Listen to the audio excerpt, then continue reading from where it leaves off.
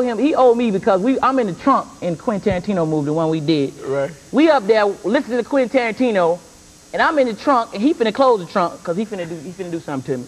He slammed the trunk down on my head. Quentin didn't say no kind of action. You remember that?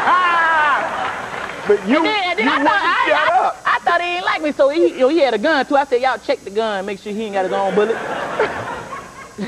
He Well, wouldn't this- shut this- up, so I shut the trunk on him. This is my man though right here. I was, I was, Was I did fun working cameo. together? Man, yeah. Oh, I did yeah. a cameo. We did like one night in like in like the hood, in the Mexican hood. Mexican love Smokey though. They love the Friday role. Oh yeah, you guys all sing Fridays. Man. They were, they were, they, the Mexicans stick together. They had their whole family out there, one o'clock, little babies. Smokey, hold my baby, hold my baby. I said, I hope I don't drop this baby. I'm gonna be dead up in the hood right Uh, here.